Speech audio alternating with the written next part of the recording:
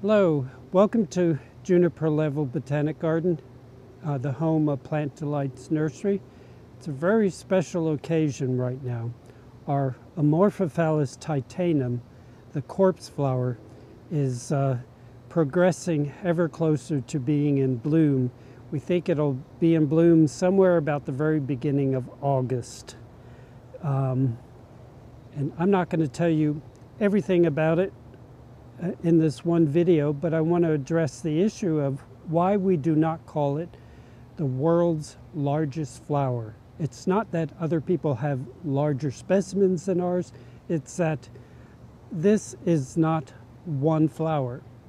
It is what is known as uh, botanically or in horticulture as an inflorescence.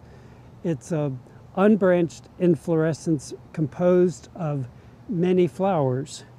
And uh, to explain the difference between a flower and an inflorescence, I brought a few examples.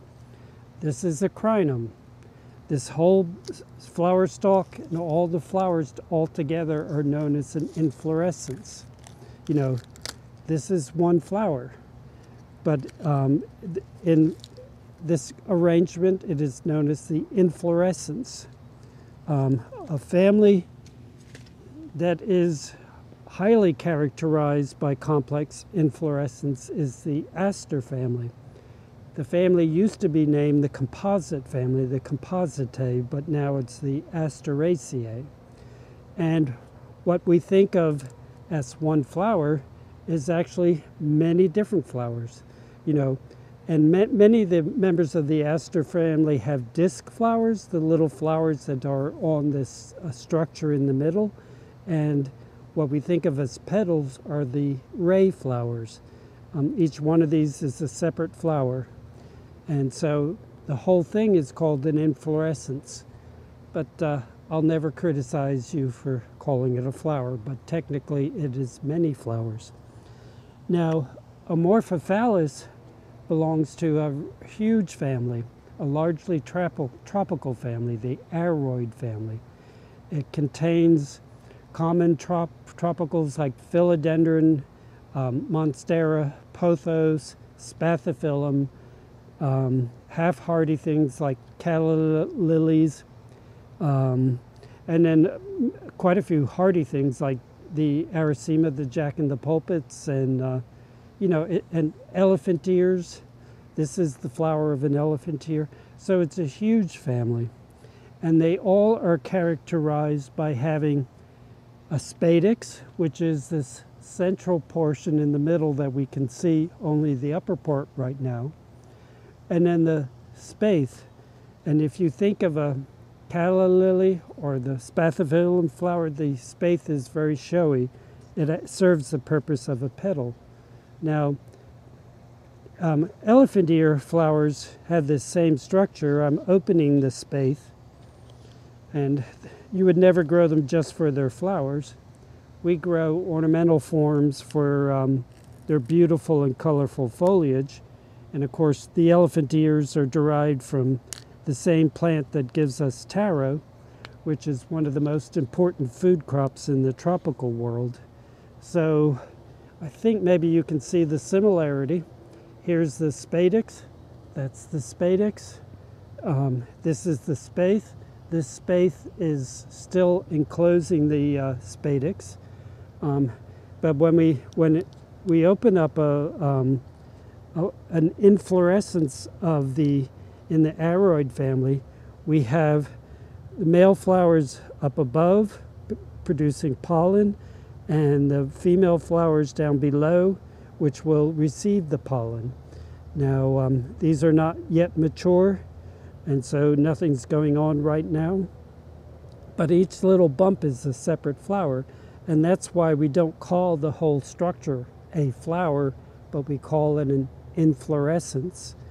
Um, so if you've been confused by the description of this flower, Lordy, this inflorescence, it's often described by people who understand it as the world's largest unbranched inflorescence because some flowers can have a branched inflorescence.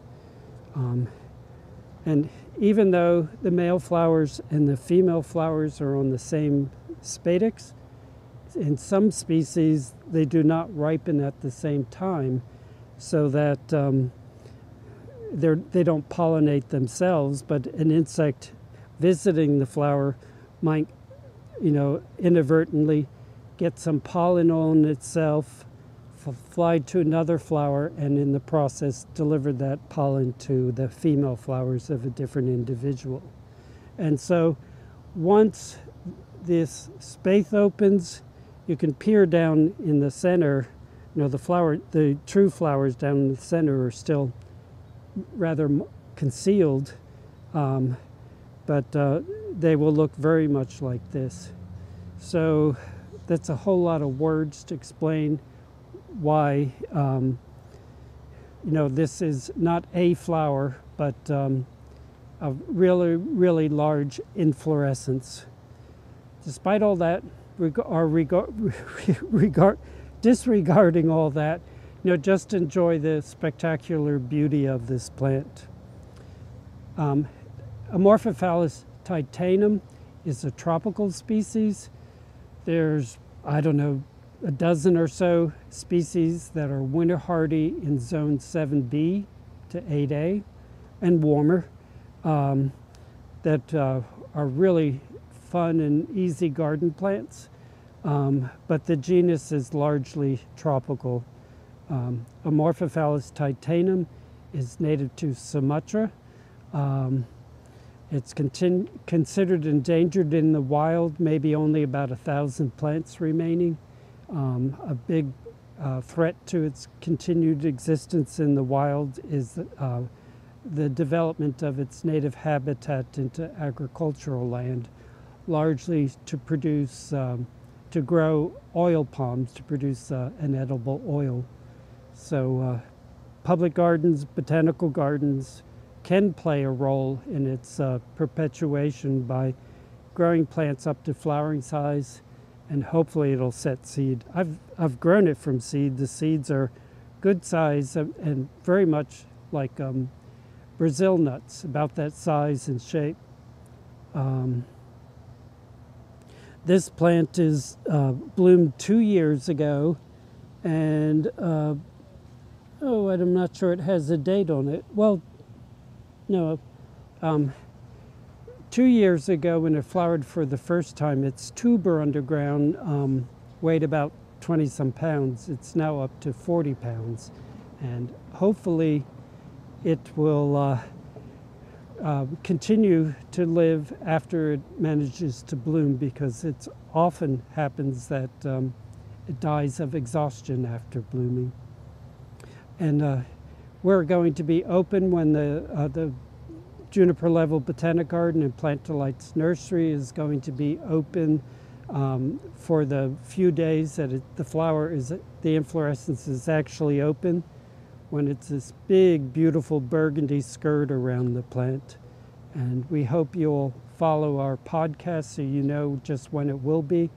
But as I said, we're expecting uh, sometime really early in August. And the, the flower, the inflorescence, uh, is only fully in bloom for about two to uh, one to two days.